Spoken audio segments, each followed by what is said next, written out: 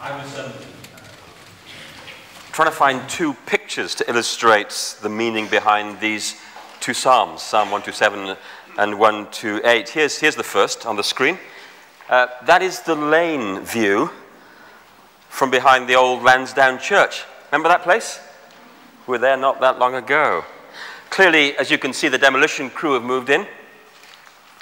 That, in fact, was the, the old conference room where we got up to all sorts of things. And those are the big steels that were holding the conference room up. Apparently, they were put in by the Armaments Division of the British Army during the Second World War to make what was then a weapons supply store more secure. Now, no one knew that until the demolition boys started why was asking why it was taking so much longer to pull down the old conference room than they had originally thought. Well, that was the reason. These big steels. Uh, and by the way, you can follow the progress of the demolition work by going to our website, where you'll see uh, uploaded photographs like this one, stage by stage. And there's also going to be, if not already up and running, a time capture camera. Never heard of one of those things before, but apparently it's very good.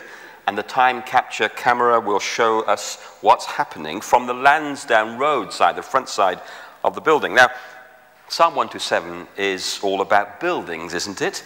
And walls and gates, verse 1. Unless the Lord builds the house, its builders labor in vain. Most theologians, most commentators imagine that the psalmist is talking about the house of God there, the temple in Jerusalem and therefore, by application, for us tonight, about the church, about its health and growth and vitality. And there's some truth in that. After all, these Psalms, as we've been studying them, uh, are written to have been sung by pilgrims on their way up to Jerusalem for one of the great festivals of the year. And the end of Psalm 128 that Karis read talks about Zion May the Lord bless you from Zion, the city of God. And then the note at the top of Psalm 127, see that in your Bibles, the little note? It describes the psalm not just a song of ascents as they were going up to Jerusalem, but also of Solomon. Now, he was, as we know, the great architect and builder of the temple. But I think there's more to these psalms than that. For a start, Psalm 127 is very unusual in the psalm book because it isn't a prayer or a praise song like all the others. In fact, it's a commentary on how life works best. You see, both of our Psalms this evening read more like something out of the book of Proverbs.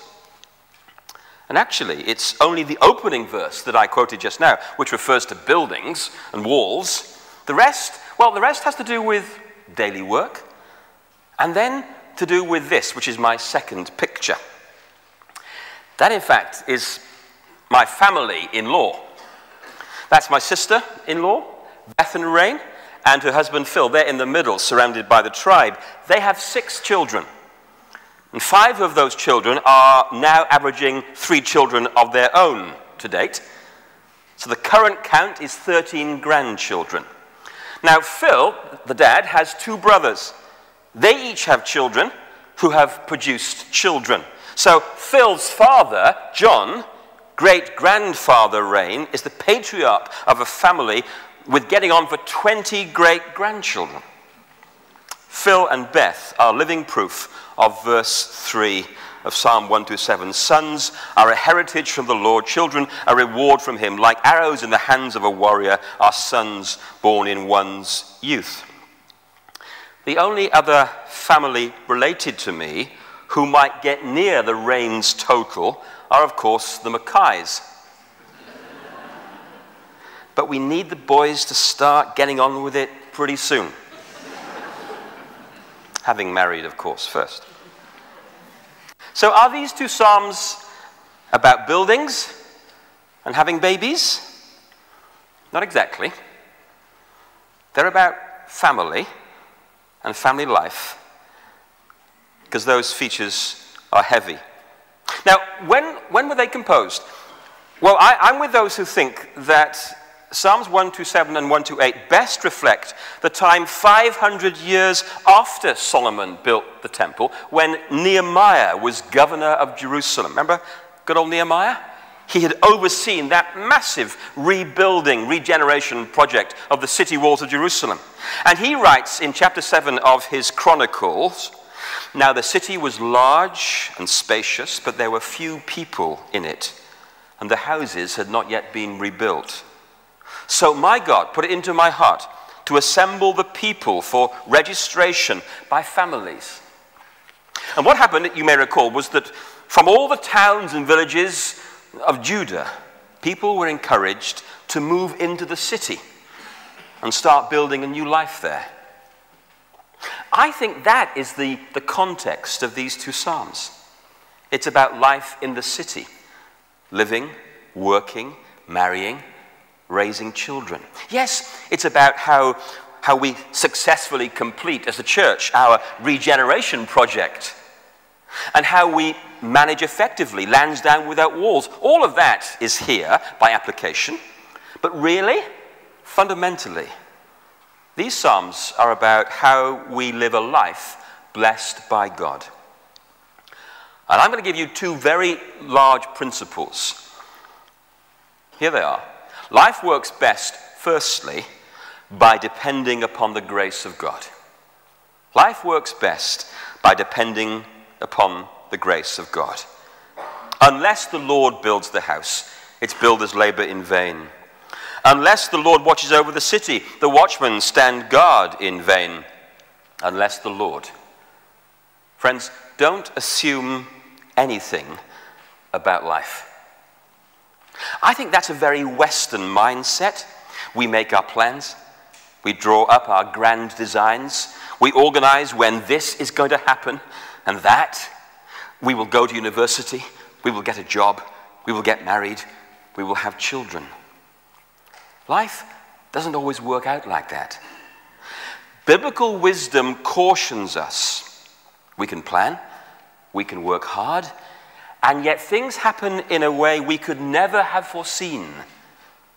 You see, whatever we do, we are to build a life with God. Unless the Lord watches over the city, the watchmen stand guard in vain. The advice of the songwriter is not watchmen are a waste of time on the city gates, don't bother with them.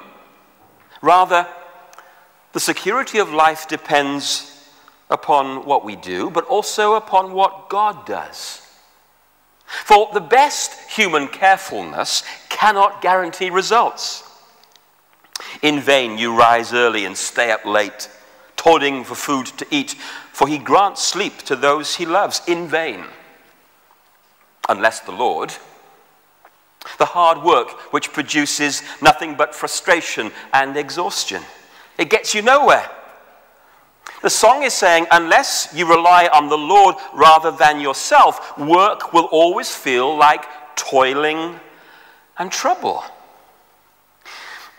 We're looking there at the kind of lifestyle that seems incapable of taking a break. And the song is saying that such relentless work can be a sign of not trusting God, of behaving as if it all depends upon me. So we just keep going and we keep going. But when we depend upon God positively, we can afford to relax and sleep because we know and trust that God is at work. He's active. He's not up to us in the end. This challenges our pretensions. The pretension that we are important and indispensable.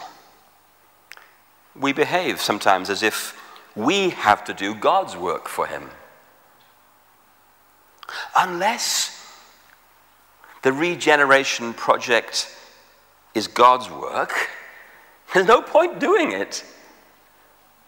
Unless God is building the house, unless God is guarding the city, unless God is involved in the daily work pattern of our lives, you see, if God is the builder, then there's no need for drivenness.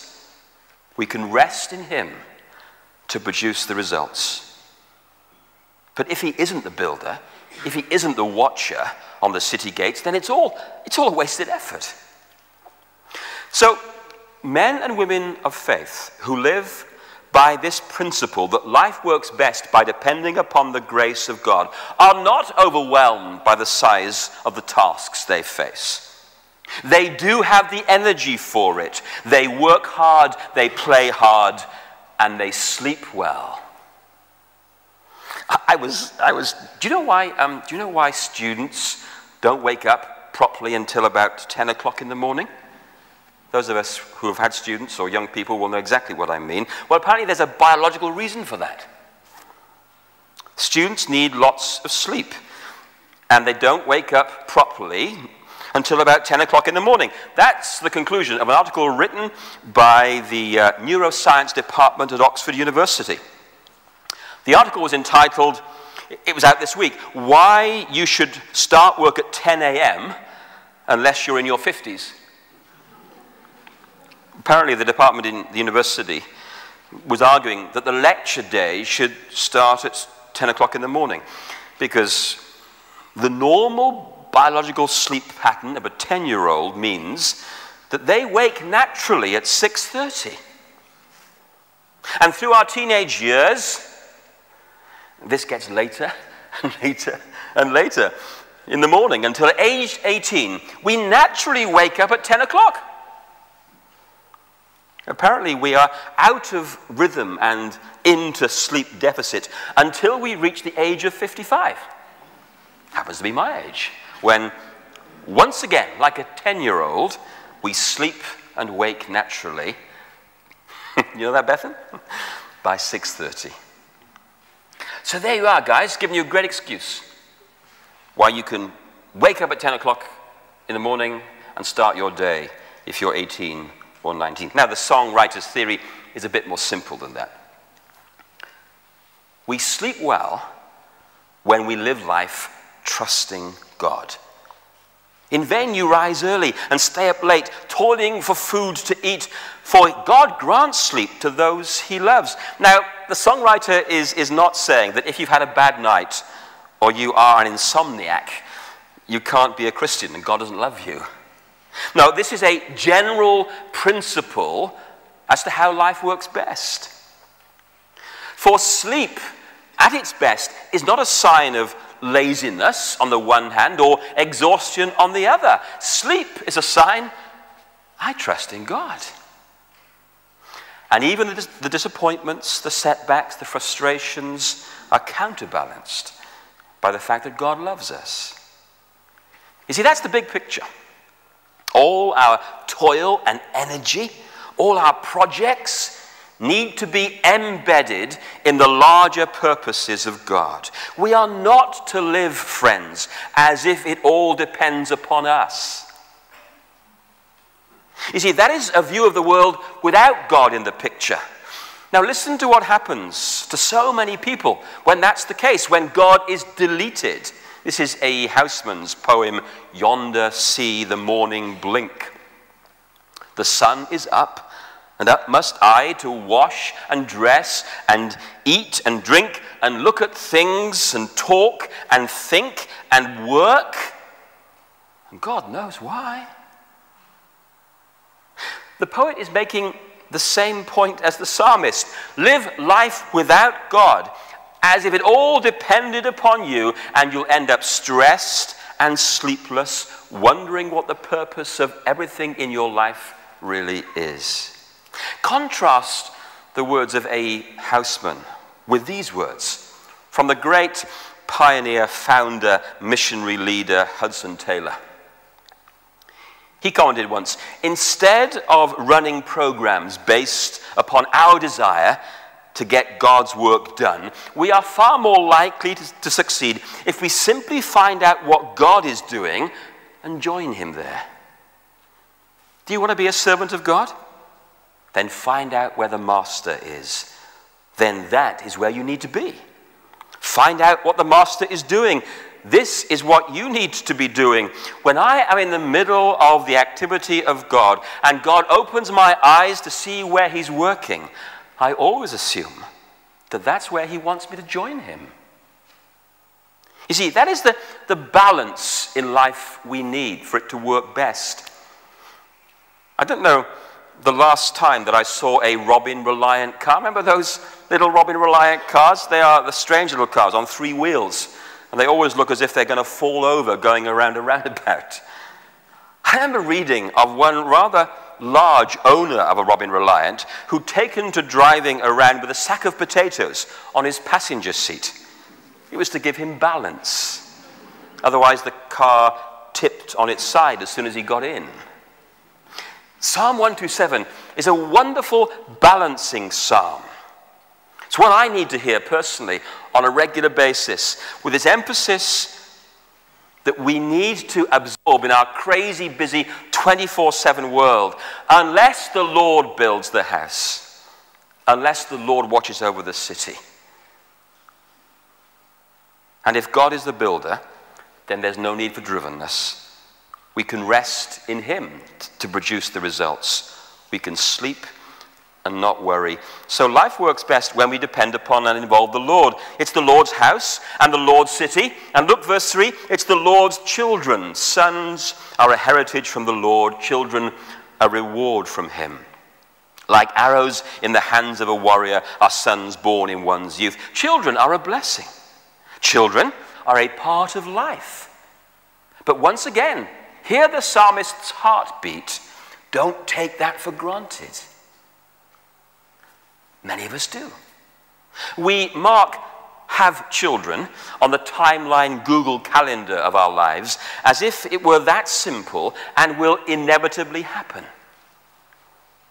But in parts of Africa and Asia, to have sons and daughters who grow up to adulthood is by no means guaranteed. And I have sat as a pastor with broken hearted young married couples time and again in this country for whom childlessness is a terrible and exhausting reality. Let alone those who long to be married and whose singleness can make them feel cut off or isolated from the rest of humanity. So we repeat with the psalmist children are precious gifts of God, they are miracles of His grace every time. We are not to see the world through a secular lens without God and demand children as our right. They are also, says the songwriter, a support in life. Which is what all that stuff in verse 4 about arrows and warriors and quivers full is, is on about. Like arrows in the hands of a warrior are sons born in one's youth. Blessed is the man whose quiver is full of them they will not be put to shame when they contend with their enemies in the gate. You see, in, in this culture, the culture of the psalmist, if a man had to face his enemies at the city gates in a conflict, because that's where issues were sorted out at the city gates, if a man was facing a big issue at the city gates, it helped to have a platoon of big lads surrounding you. Not that daughters aren't a blessing too. But in the social context here, having boys around can come in handy if you have to defend the home or the city from attack. When I step back a little from the details of the psalm and reflect on this important area of biblical wisdom, I think it really has to do with having the right life perspectives. And I keep hearing the words of the Lord Jesus in Matthew 6 we know them so well.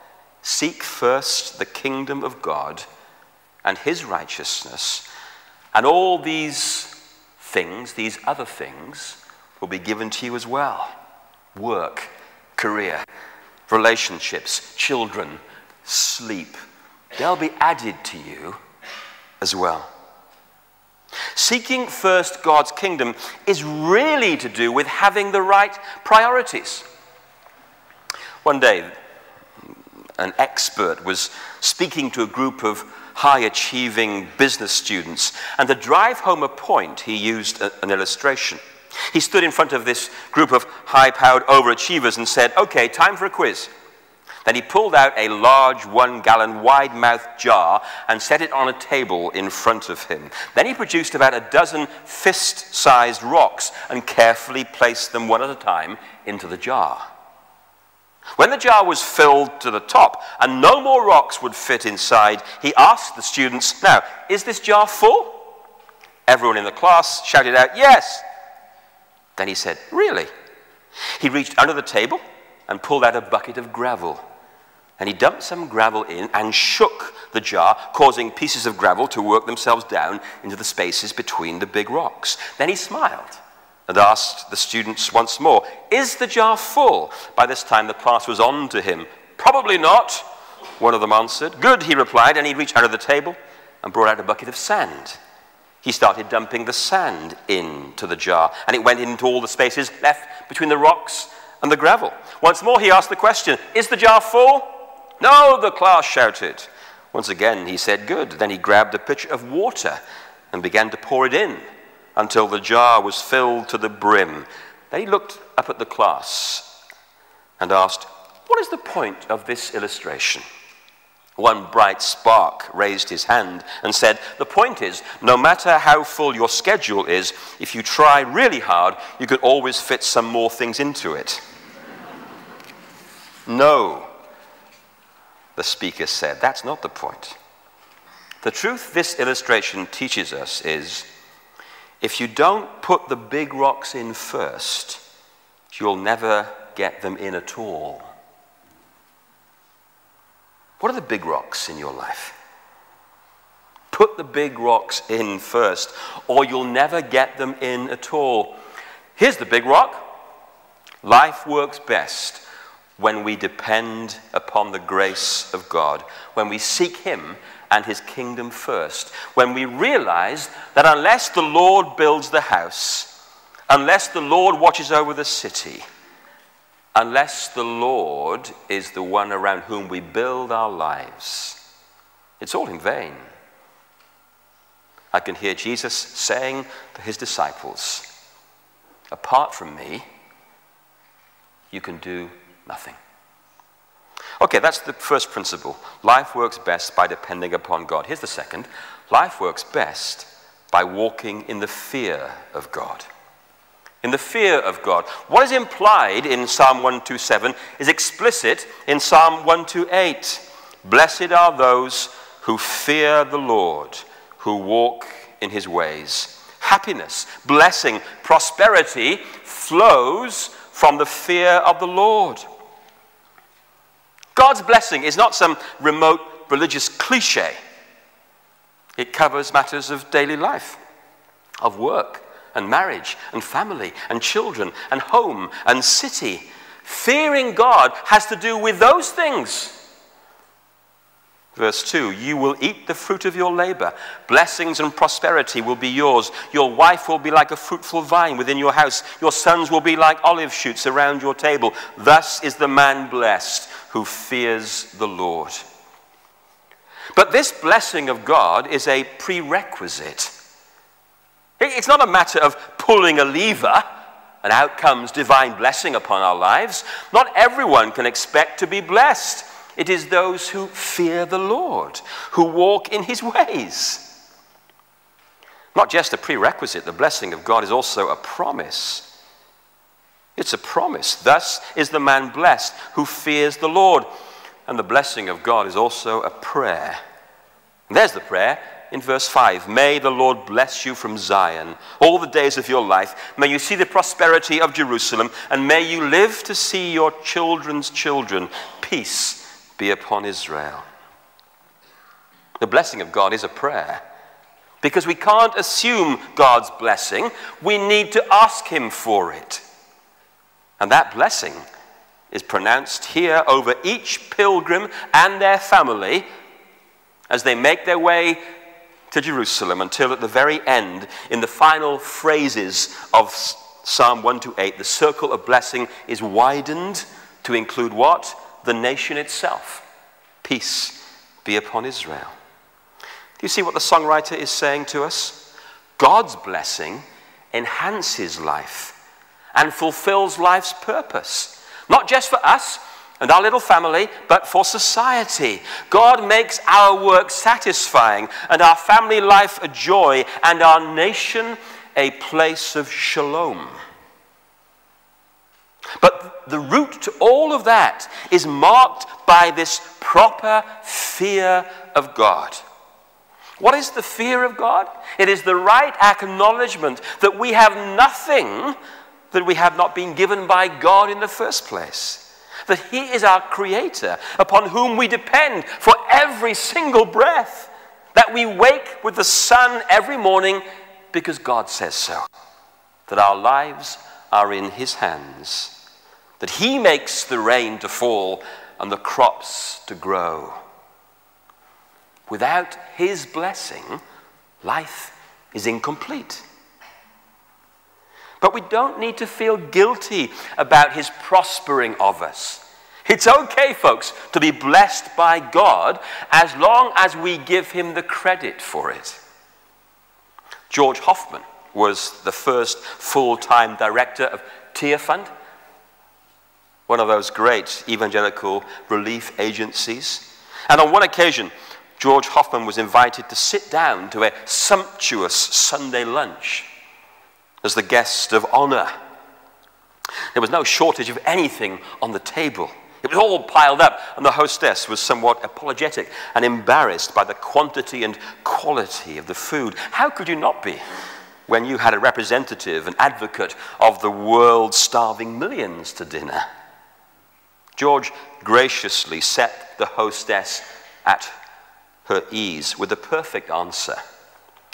Please don't apologize, he said, for enjoying the, the prosperity that God intends all of us to enjoy. That's fine.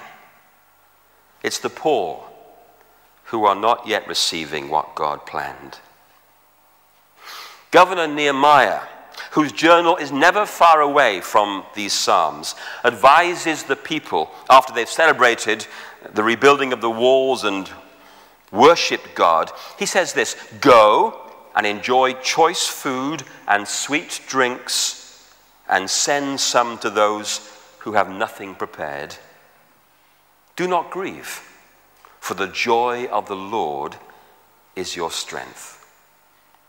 It's in that spirit that we are giving today to the work among refugees, out of God's blessing of us, for which we do not need to apologize we want to bless others.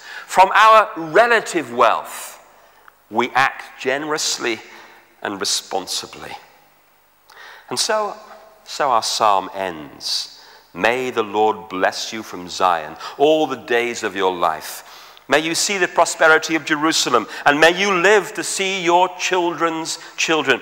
Here are these pilgrims on a journey to Jerusalem, traveling to Zion, the city of God, the place from which the Lord will command a blessing. So they want to get to the house of blessing, where God wants to bless their socks off. They want to live life the best way possible by depending upon God and by walking in fear of Him. So they arrive with their families and their work issues and they bring it all with them their hopes and their needs and their dreams and their ambitions. And they, like we, know that work does not always produce fruit, that marriage does not always produce children, that life does not always pan out the way we wanted it or hoped it would. But trust in God. Trust in God and His providence. That is the key value of the pilgrim's life. I wonder if it's ours. Or do we really see the world, for all of our Christian veneer and Christian um, cosmetic uh, facade, do we really see the world actually through the secular lens? There is a way to walk in fear of God. And that is the way to be blessed, whatever the practical outcomes.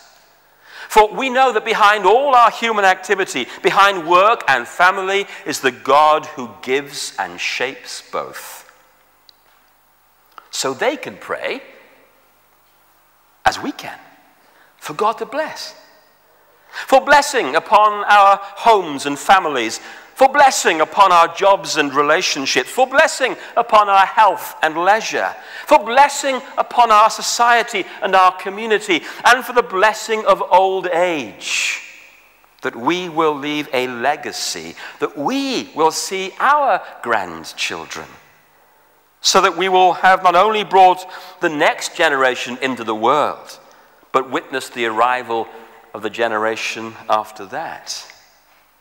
To all of that legitimate prayer for physical and material blessing, we add prayer for God to bless us spiritually as individuals and families and as a church community.